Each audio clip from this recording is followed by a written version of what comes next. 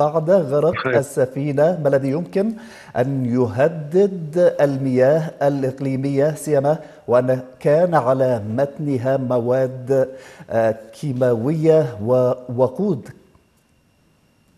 نعم آه، حسب ما علمنا حتى الآن أن هناك كمية ضخمة من نترات الأمونيوم على آه، على على متن هذه السفينة بما يقدر ب ألف طن تقريبا وهو وهو رقم ضخم جدا.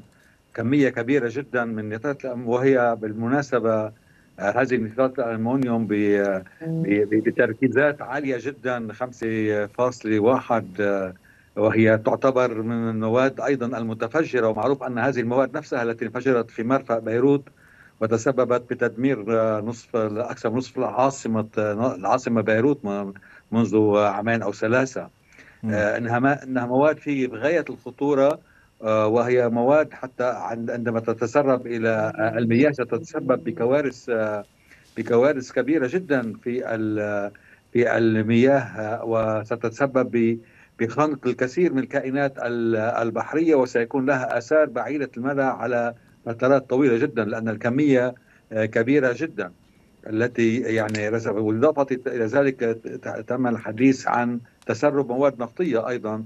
ومعروف أن المواد النفطية أيضا ترسو وترسب وتؤدي إلى موت الكثير من من الكائنات البحرية الموجودة في في المنطقة.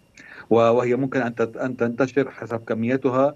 لم يعرف حتى الآن ليس هناك أرقام حول كمية الفيول الموجوده على على هذه الباخرة.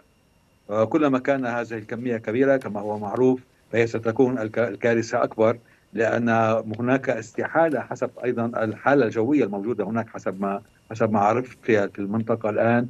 آه، كان هناك استحالة ل آه، آه، لإنقاذ ما يمكن إنقاذه في هذا الموضوع مع أن الحادثة حصلت منذ أكثر من من ما يقارب أسبوعين. أسبوعين.